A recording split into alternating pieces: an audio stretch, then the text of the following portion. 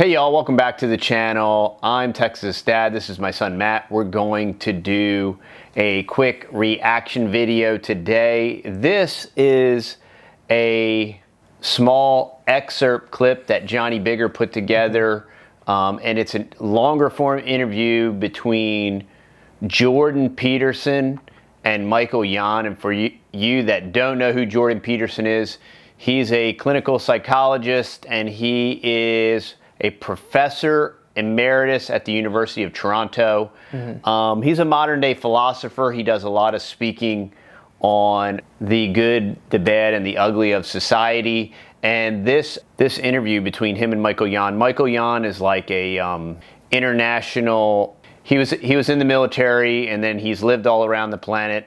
Okay. And uh, he's kind of like a consultant, and I think he does reporting on different conflicts around the world and different things like that. I think he was a green. He was like the youngest Green Beret or something oh, like really? that.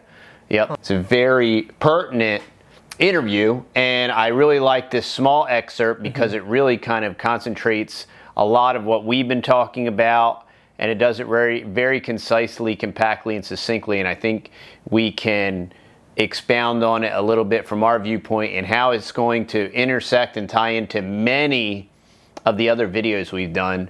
So we will link uh, Johnny Bigger's excerpt video down below. We will also link Jordan Peterson's long form video down below. Uh, they're both, both excellent. Watch them in their uninterrupted states. And I'm going to hand it off to Matt. So before we get into today's video, just wanted to say real quick, we have merch and we have t-shirts, we have mugs, we have stickers, bumper stickers, magnet stickers, and lots more over at our website. We have We Are the CO2, we have the Venn diagram t-shirt, and many more over there, and Go Green Compost a Globalist bestseller. That's at the Texas www.thetexasboys.com. We'll put it on the screen for you. So check out our t-shirts yep. and our merch over there and let's get started in the video. If you lose the farmers for one generation, you learn you lose all that knowledge. You know, and I, I saw the government said, well, some of these farmers are just going to have to move.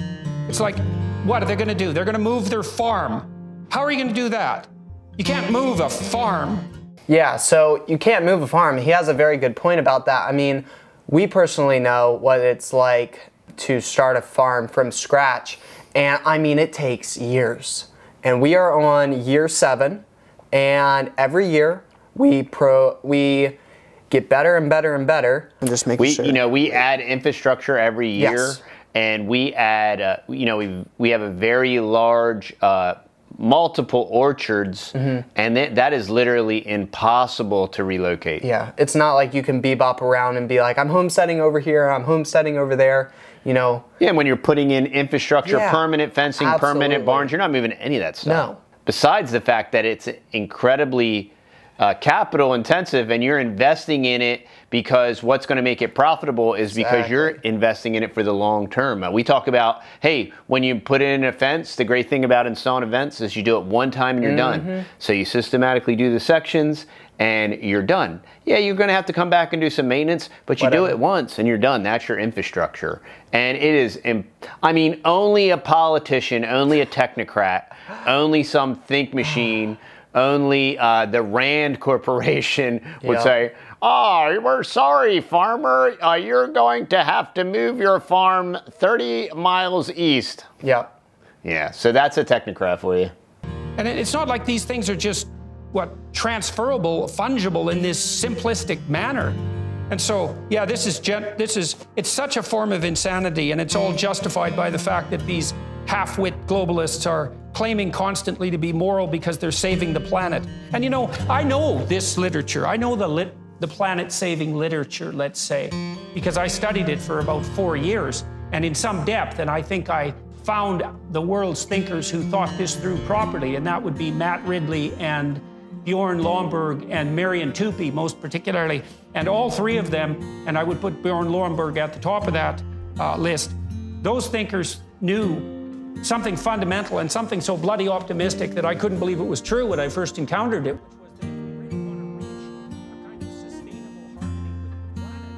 The best way to do that, absolutely obviously, is to distribute autonomous free market systems as widely as possible, and then to get people everywhere in the world as rich as we can, as fast as we can.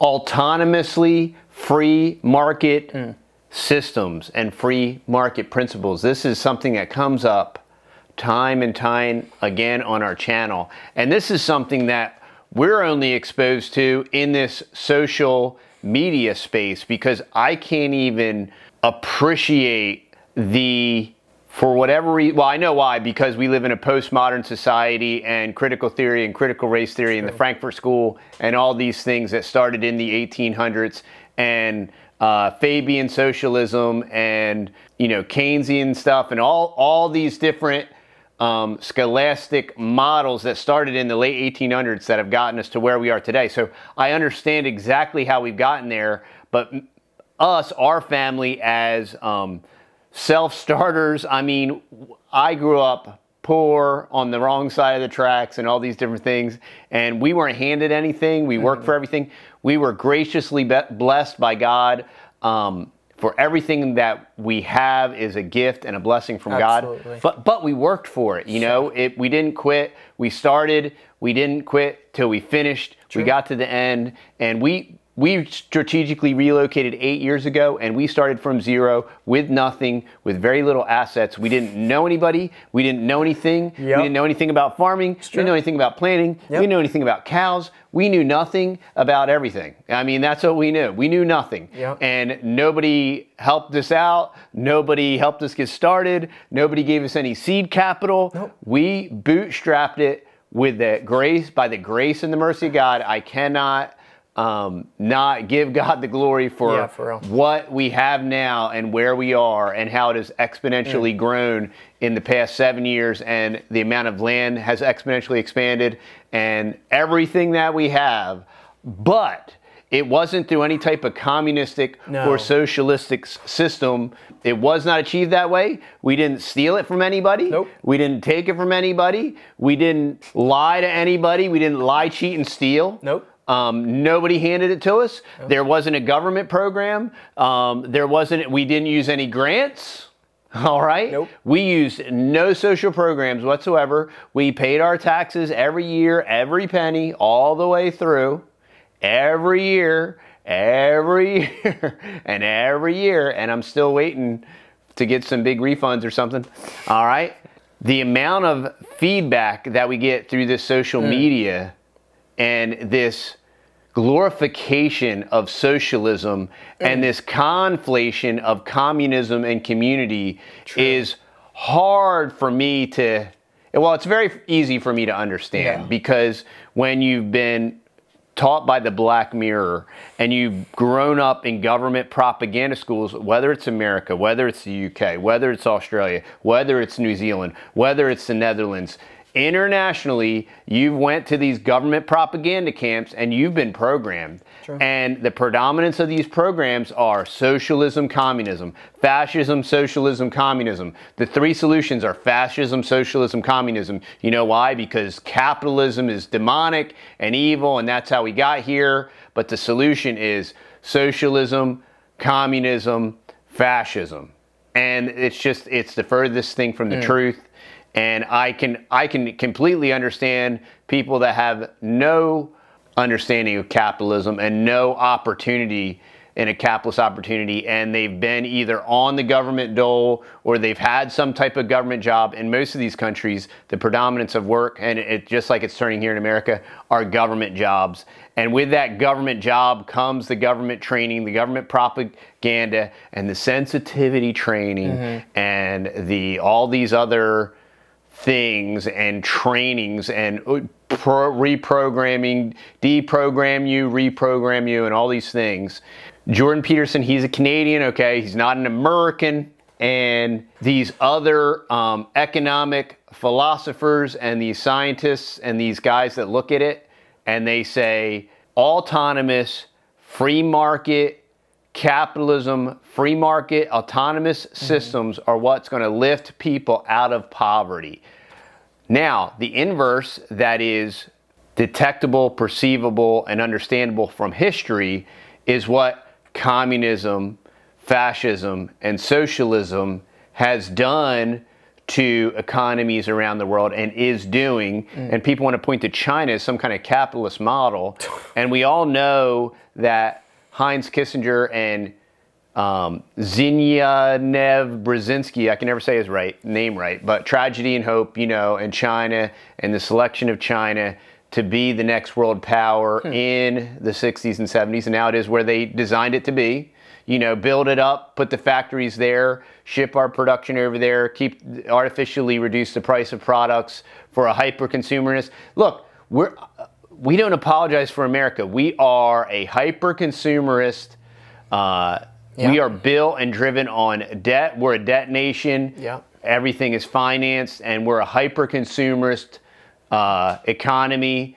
And we, the reason that we've achieved what we have achieved is because we chose to observe the masses and do the opposite. So while everybody's like, refinance, refinance, debt, debt, debt, bigger, bigger, bigger, bigger, yeah. bigger, we yeah. said no. We said smaller, we said pay as you go. We mm-hmm. said cash flow. We said debt free. And we're eight years into this whole new deal, completely debt free. We got some cash reserves. We got stuff. We got infrastructure. We got investments. We got food 401k. We have dirt coin.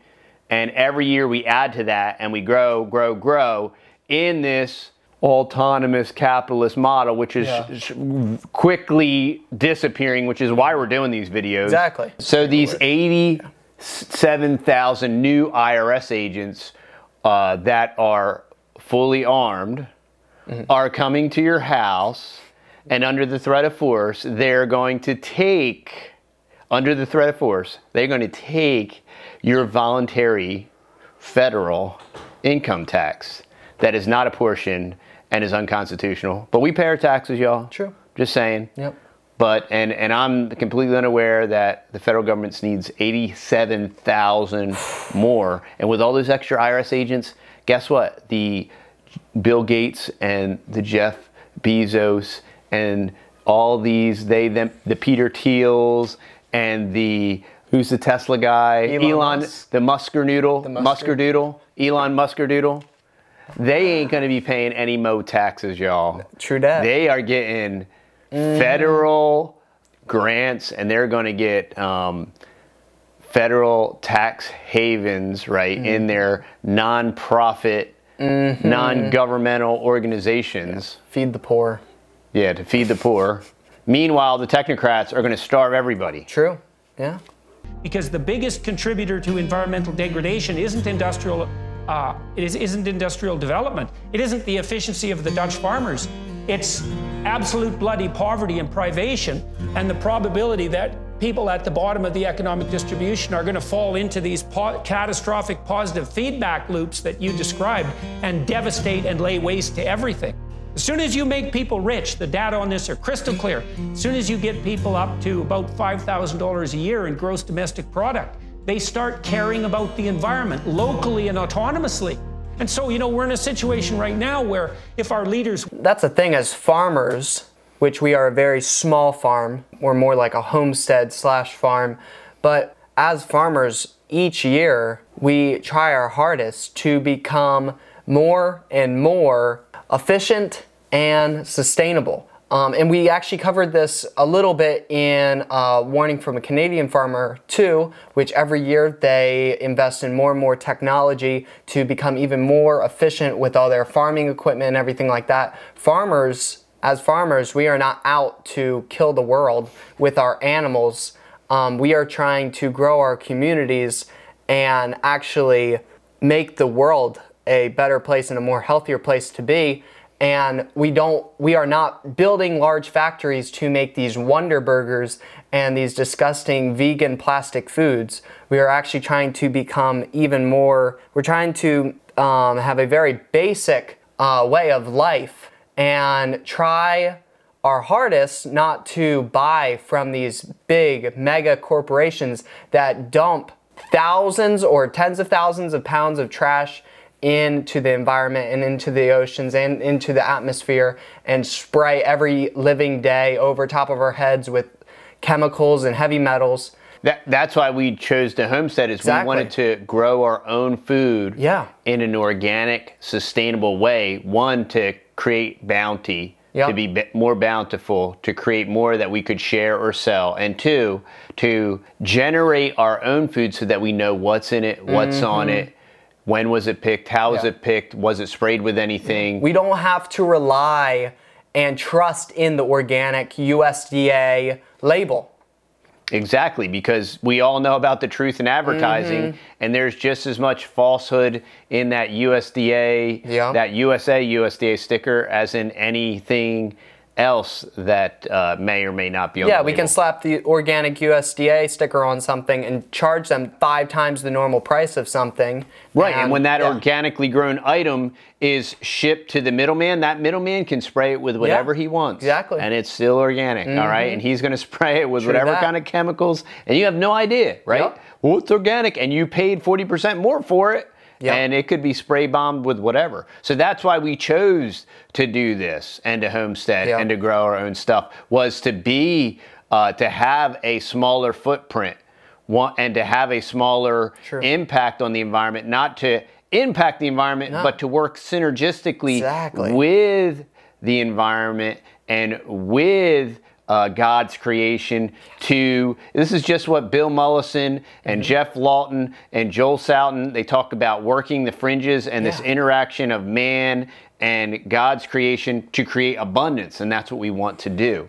And this counter argument is is obviously if you're not for the you know you're either for you're either against the environment Exactly. or you're for the environment mm-hmm. but you can't be against the environmental agenda but mm-hmm. still want Yes. to protect and Exactly. improve and work with God's creation and the environment and simultaneously make it better. That's the beauty of it. And that is possible. And I think that's what Jordan, that's one of the things that Jordan is vocalizing here that we've seen from the uh, Netherlands farmers, how they've worked directly in concert and these challenges were brought up and they addressed the challenges, they met them head on, and they worked on solutions, not. el- the technocrat solution is elimination. Yep. Oh, just get rid of the cows. Just move your farm. Just delete your farm. We'll delete your farm and delete you. You know, you've worked all th- this hard at it for all these years, Yep. but now we have decided we are the decider. Yep. Weren't so concerned with scoring cheap reputation points and being hyper moral in their ignorance and, and pretentious in their global uh, ambitions, we could be working towards a world where everybody had enough food and enough education and were simultaneously inspired on their own account to to what engage in the kind of environmental stewardship that would leave a good planet for their children and their grandchildren. We could have our cake and eat it too, you know? And yet what we're doing is we're breaking the supply chains and dooming the poor and and fostering what's going to be a mass migration into Europe and that's just going to be a bloody catastrophe. And I, I hate to see this and, and I, I hope I'm wrong and I'm just being paranoid, but but I don't think so. I don't think you're being paranoid. That started in Canada, jumped over to the United States. It's over here now. I mean, it's really growing. This courage is, is spreading. And so, uh, and, and you see Italian farmers, Spanish farmers, people are rising up. And the more they realize what's actually happening, because, you know, the man behind the curtain is the, is the WEF, the World Economic Forum. Of course, we're going to have to deal with China, but at this rate, if Germany falls from these energy issues, which is looking pretty likely at this point, China is going to peel off the rock too, right? As are we economically, right? We cannot sustain the collapse of Germany. That's absolutely 100% obvious. That would be an utter bloody catastrophe. If Germany collapses, EU's gone, right? For a while, right? And uh, and, and uh, I mean, the EU will probably dissolve. That's my guess. I don't know. We'll see when time unfolds. But obviously, that'll take our economies with it, and China, right? And Japan. And of course, Japan imports what 60, 70 percent. All these island nations and island state like Hawaii that import. you, you want to talk about what the United States imports? Yeah, so uh, as he just said, Japan imports 60% of their food. And um, so here's some stats on the US and importing their foods and stuff like that. To help meet these consumer demands, the United States imports about 15% of its overall food supply. Today more than 200 countries and, or territories and roughly 125,000 food facilities plus farms supply approximately 32% of the fresh vegetables, 55% of the fresh fruit, and 94% of seafood that Americans consume annually. So uh, many countries by design cannot feed themselves, and this has been by design over time, over years. We've traveled and we've been to different um, Caribbean countries mm-hmm. and. Uh, we've talked to the locals and they've explained this place is a tropical paradise. Yeah. We had everything, and the government comes in, and the World Health Organization and the these uh, NGOs, these uh, food or world food organizations, and the Food World Order. The Food World Order comes in and they say you got to dump out your raw milk. Yep. Um, you got to dump this out. You got to dump that out. We're going to import it for a tenth of the price that you can profitably manufacture it for. So we're going to kill the market. We're going to import it in. We're going to get you addicted to it. And so that way your growing infrastructure is gone, mm-hmm. right? In America, we're going to say we're going to make these dumb corn mandates for ethanol gas, and we're going to take all these crops and all this land used for growing food, and yep. we're going to turn it into growing fuel or growing these oils that are non-consumable, right, or for biodiesel or whatever.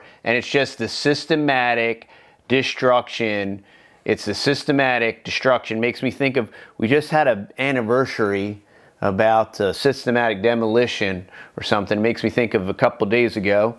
But um, it's yeah. an inside job. It's been done by design, and it's a systematic destruction of our food supply and our food chain.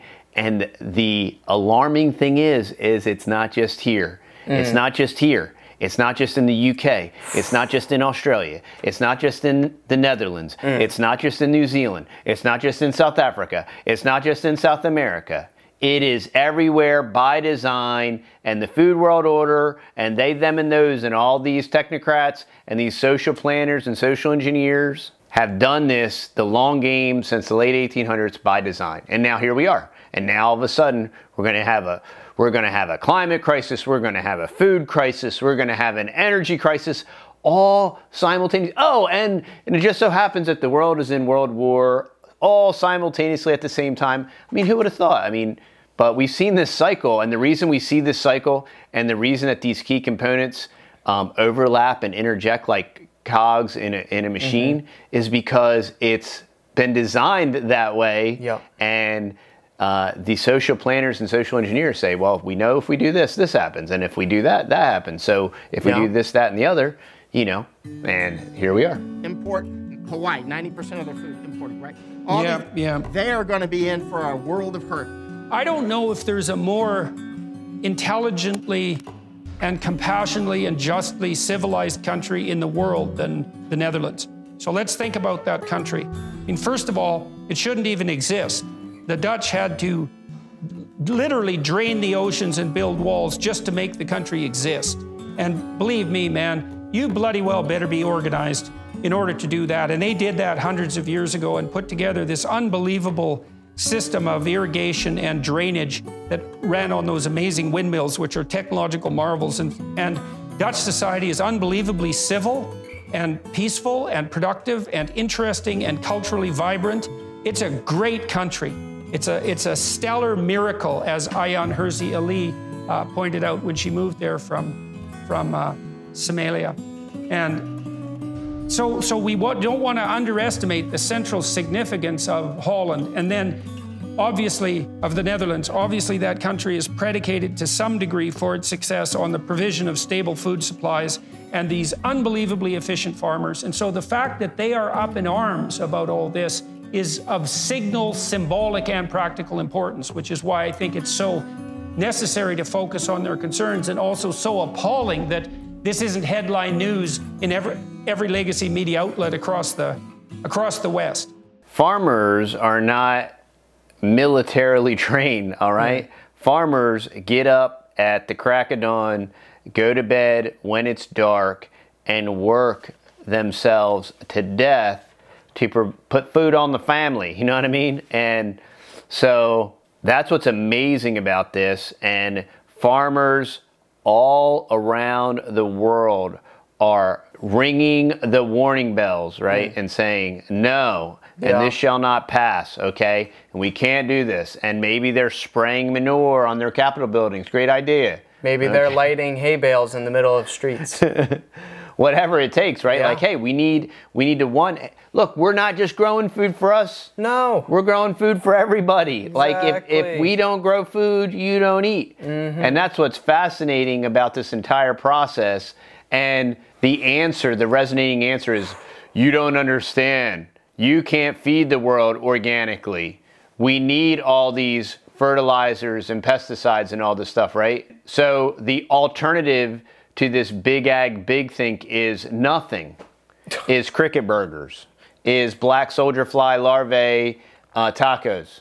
like if you think about it, if everybody had a small garden, a couple of chickens, and I don't know, either some type of either goats, pigs, sheep, cows, something like that, we would be in a way better place. And we were like, when was that? When was what was the time? 1900. 1900s when it started to kind of fade To out. move from agrarian to industrial. okay, that's what it's called. Yeah. Okay.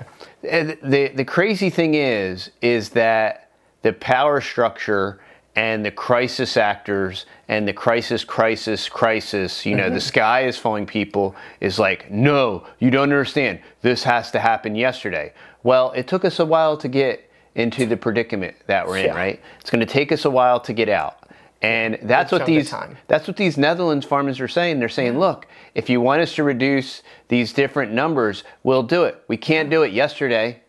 One, if you're going to be reasonable, logical, and rational, you're going to have to put it on a time horizon and a time frame that is remotely achievable. It's not right? next week. Right, and and that's but but that's by design Yep, to exactly. crash and crush Yeah. the system. Because when the Dutch farmers are upset and moving en masse the way they are, something has gone seriously wrong. This is a canary in the coal mine situation.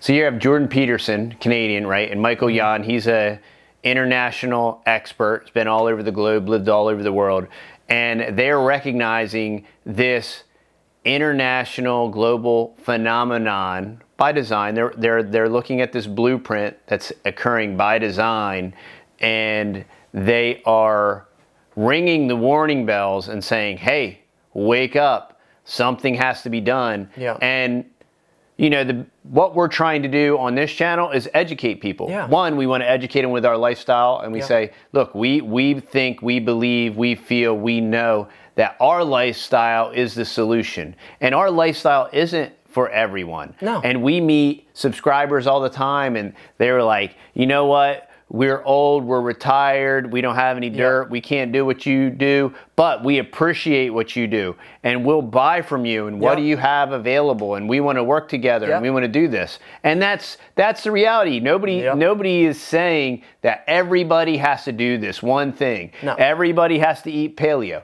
Everybody has to eat keto. Everybody has to eat vegan. Everybody has to eat vegetarian. Everybody has to eat fruitarian. Everybody has, has to eat bugs only. I think everybody's really cool with all those diets except for the bug diet. There is no one size fits all. There is no universal intergalactic solution that works for everybody. But you know what? We can all do something. We can all do our best. exactly. We can all try, fail, and adjust, and we can all work together. Stop looking for somebody to blame. Take Mm. personal responsibility and to do a little something. You know, we eight years ago we moved 1,400 miles. We sold everything we had. We've uh, re um, we've purchased and accumulated what we have now over the course of the last eight years. That was dramatic. That was dramatic and traumatic. And it took a lot of blood, sweat, and tears, and a lot of time, and a lot of effort, and a lot of planning, and a lot of work, and a lot of sweat. And nobody gave it to us, and we didn't ask for any grants. We didn't ask for any help. And we don't want any. We still don't want any. And we're not gonna. We don't want any help.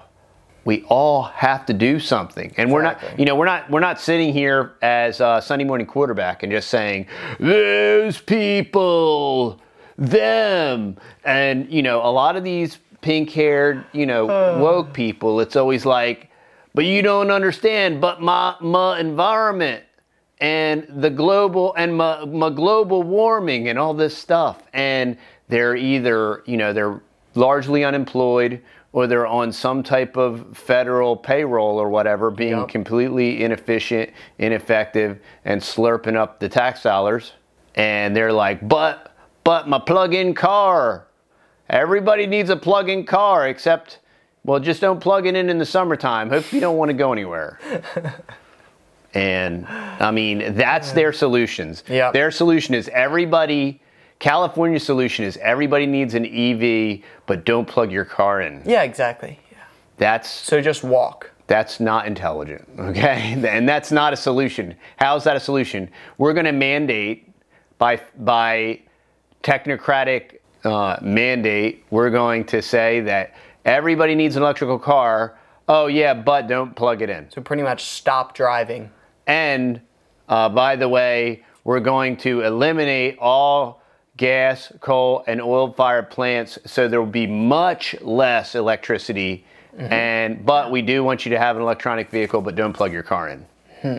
So hopefully, you have a very, very strong hamster and a very efficient hamster wheel. That's a yeah. So you get the hmm. you get the gist, you get the Yeah. picture. We don't have to continue to belabor the topic or the points, but thank you all for watching. Um, Yeah, thank you so much. I hope this connects some more dots and wakes some more people up and get busy, get active, get doing something, Absolutely. and uh, give God all the honor and the glory. He is worthy. We are thankful for what He has blessed us with, and He is faithful. But we, He has given us stewardship over these things, and what are we going to do about it? True. And that's the question that I'm asking you is what are you going to do about it besides blame somebody else or say, mm-hmm. well, they need to do this? Where is the personal responsibility in that? And where is the ownership in that? And where's the stewardship in that? Have a great night, y'all. All right, bye-bye.